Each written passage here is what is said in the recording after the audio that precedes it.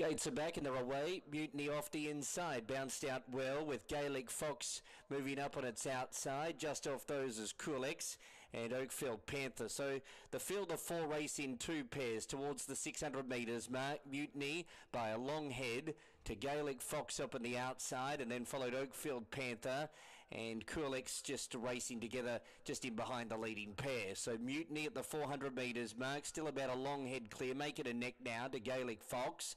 Coolix has got to third, and Oakfield Panthers been placed under pressure at the tail end of the field. They straighten up.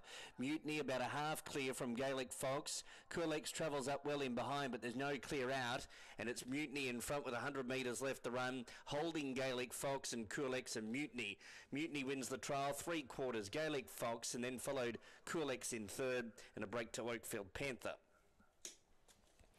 Mutiny in uh,